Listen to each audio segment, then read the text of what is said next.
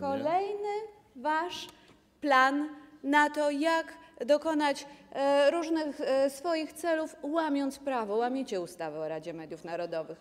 Wymyśliliście sobie pretekst i macie naciągane ekspertyzy. Powołujecie się na przykład na pana profesora Izdebskiego, który wczoraj nie powiedział kategorycznie, że jest łamane prawo. Broń Boże, niczego takiego nie stwierdził.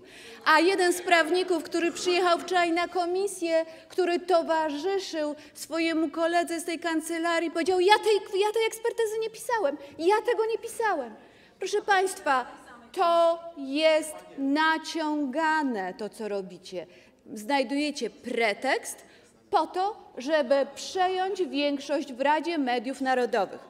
Krzysztof Czabański nie naruszył przepisów ustawy powołujących Rady Mediów Narodowych, nie posiada udziałów ani akcji w spółkach będących dostawcą usługi medialnej.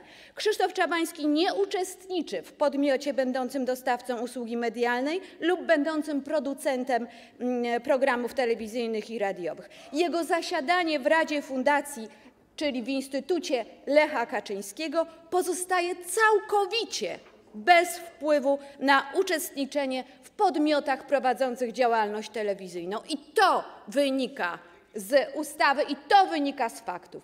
Ale Państwo nagle chcecie mieć większość w Radzie Mediów Narodowych, podobno niekonstytucyjnej, podobno niepotrzebnej, podobno do zlikwidowania. Dlaczego teraz? Dlaczego teraz? Od grudnia macie, zrobiliście e, skok na media publiczne, niszczycie ją, wyrzuciliście, niszczycie je, wyrzuciliście kilkuset e, dziennikarzy tylko dlatego, że pracowali w czasie, kiedy wyście tam nie rządzili. Zrobiliście czystki i niszczycie te media.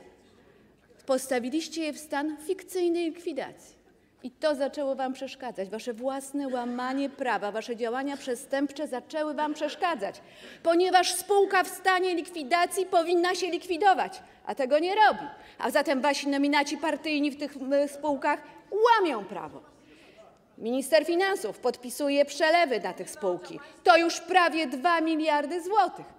Pan minister Domański wie, że łamie prawo, ponieważ przepisuje, przelewa pieniądze na spółki, które są w stanie likwidacji, a on je traktuje tak, jakby były normalnymi spółkami. I panu Domańskiemu to się znudziło, bo wie, że za to będzie odpowiadać. Dlatego chcecie zalegalizować swój skok na media.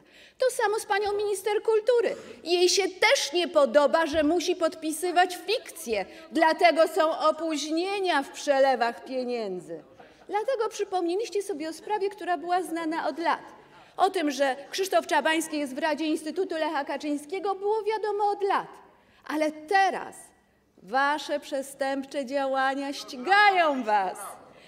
To, że przejmiecie większość w Radzie Mediów Narodowych, zalegalizujecie zarządy, przestaną być one w stanie likwidacji, przestaniecie robić tę fikcję, nie oznacza, że e, odpowiedzialni za to unikną odpowiedzialności.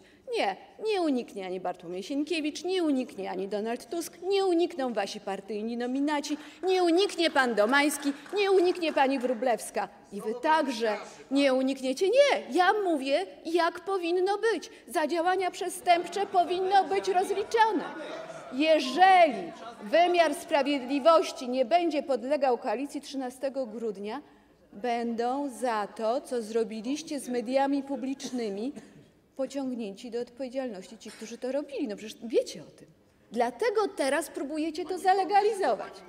Ale to jest wasz stosunek do prawa. Stosunek wasz do mediów pokazuje to, co zrobiliście z nimi, jak je niszczycie, jak zniszczyliście archiwa i ile set ludzi wyrzuciliście.